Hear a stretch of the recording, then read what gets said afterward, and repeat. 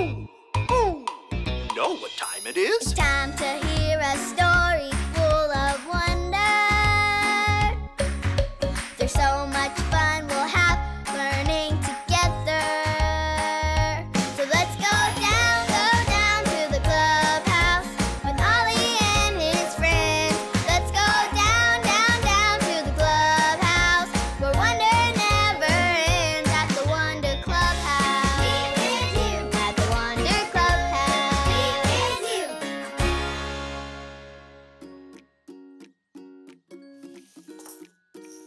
hi, friends. I'm Hayden.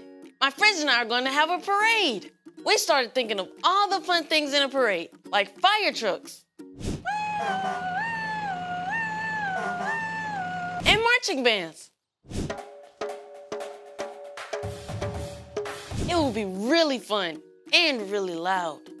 But our friend Sam does not like loud noises, and I don't want Sam to stay home because our parade will be too loud.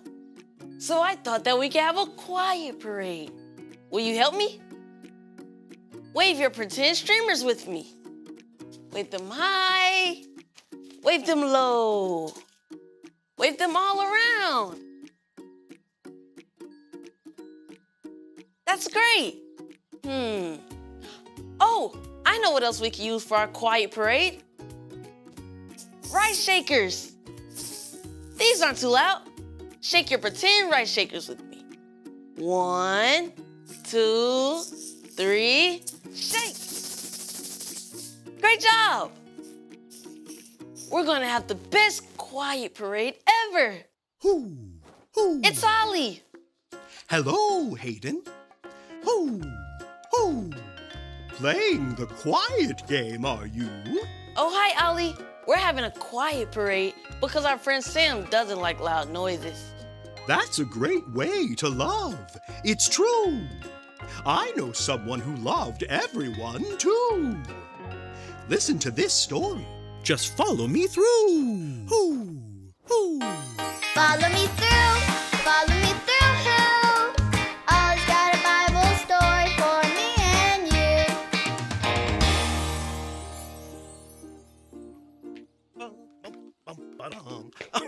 Hello, friends. I'm Justin the Mailman, and today I am also the neighborhood parade leader. it's a great day to have a great day. I'm delivering some invitations to the parade, and something exciting that you see at a parade is confetti! There's confetti everywhere, which reminds me of our story today. Do you want to hear it? Hooray! Let me just put the story mail in the mailbox.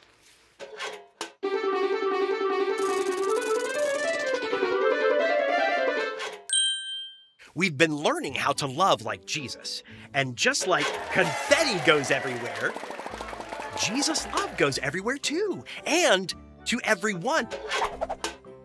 Jesus wants everyone everywhere to follow him and be his friend forever.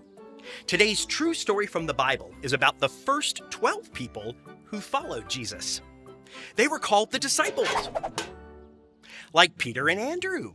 They were fishermen out trying to catch fish when Jesus said, Come follow me. So they did. James and his brother John were fishermen too. They were out there with their dad when Jesus said, Come follow me. And they did. In the next town, Jesus found Philip. And then Philip brought Nathanael to see Jesus, and he followed Jesus too. Then there was Matthew. He had a different job. He was a tax collector.